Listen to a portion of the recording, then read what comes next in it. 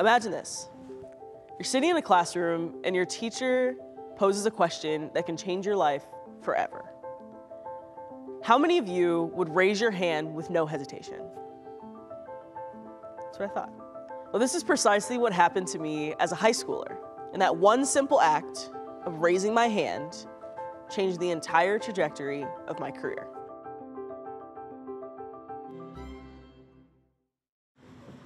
So my mom always told me to always sit like in the front of the class. This is where it all began. I was taking chemistry during my junior year and my chemistry teacher had just put this offer out to the entire class of, hey, if you would like to participate in the science fair, just let me know. And if I could get a show of hands, that would be great so I could identify, you know, who to double back to. My mom also said, if you have a question or you want to do something, you raise your hand, regardless of whether you feel embarrassed or you think people are going to make fun of you, it doesn't matter. So I literally raised my hand without hesitation and my life changed that day. I developed color changing stitches to detect infections using beet juice. And the whole purpose here is to create an equitable medical solution for our most vulnerable communities, most susceptible to surgical site infections. I spent Fridays after school in this lab working on my project for about six months straight. I was able to apply to one of the most prestigious science competitions known to man, and I ended up advancing all the way to the top 40. Now, for context, there are about 2,500 applicants that year, and so it was a really big deal. That propelled me into, um, you know, a couple local papers, and then those local papers got picked up by other organizations, and I was featured in Smithsonian, People Mag, USA Today Woman of the Year for Iowa. Ellen DeGeneres. Dasia! Ellen! I mean, come on. PBS NewsHour. CBS Mission Unstoppable. Her name is Dasia Taylor. I still maintain that I'm like I'm a very humble person, so it's actually pretty difficult for me to talk about this type of stuff. But I've had quite the journey to only be 20. I was born on the west side of Chicago, raised on the south side. I was born into a single parent household very, very young parent. My mom ended up moving and finding Iowa because um, of a relationship that, that she was in at the time.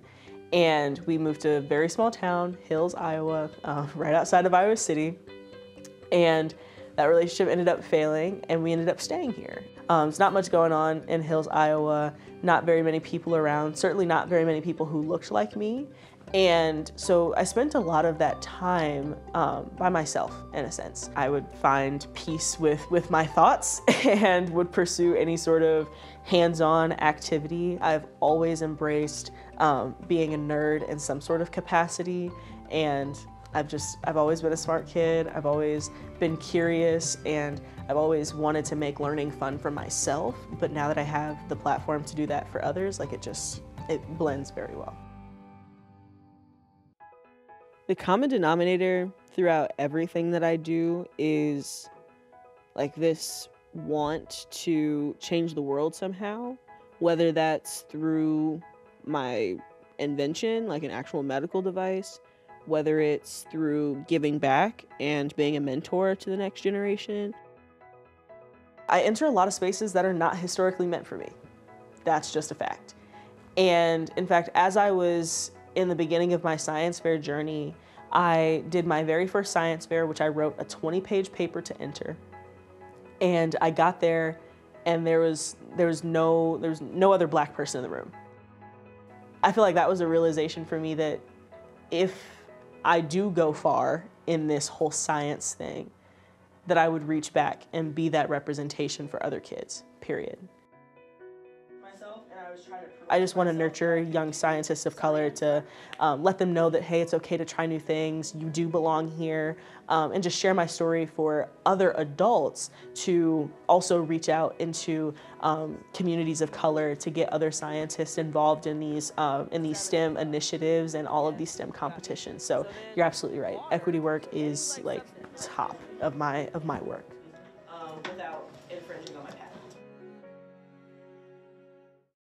All right, so we're gonna be doing elephant's toothpaste today. How many of you guys have done that? I don't know what that is. Um, how many of you are bakers? Who likes to bake in here? It's my goal to go to every single elementary school in Iowa City Community School District because my fondest memories of school were when we had guests come in and talk about their job and do cool stuff. We would ditch the regularly scheduled programming and we would go out and have fun and learn at the same time. You'll see that's the basis for everything.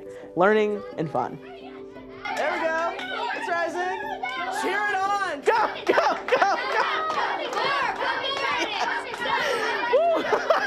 It's really engaging for them and I hope that they carry that experience with them throughout the rest of their academic career. Whether it's just a funny memory, or it inspires them to go into STEM, or it inspires them to be a cool person and also come back to their school when they do whatever they do. I enjoy going back and giving back to the school district that played a big part in who I am today. I wake up and I choose this life every single day. Like I, I love medtech and I love um, and I love this like community service aspect that I get to do, these school visits, and I have to choose that consciously every day, even when it gets rough. And when it gets rough, I mean like sometimes I fall out of love with um, with medtech. It gets hard. There are very big words that you like have no idea how to pronounce or say. There are very big, intimidating people in this um, in this world that I have to face. If you really want what you're going after, you're gonna find you're gonna have to find a way to get through it, get over it, and get back on track. This one is a book that I am featured in. I do what I do for Dasias like me that are in the younger generation and looking for inspiration from someone. And I hold a, a variety of identities, and so I am very proud of, of who I am. And because I needed someone like that when I was growing up, I want to be that someone for all of the little kids growing up. Honestly, um, I want them to take away the same sentiment that I received from my mom, and that's you can do anything you put your mind to period. I want to embark on this journey together. Because truth be told, the world is waiting for your contribution, your vision, your invention. And in light of that, we can all become beacons of hope, sources of inspiration, and catalysts for change.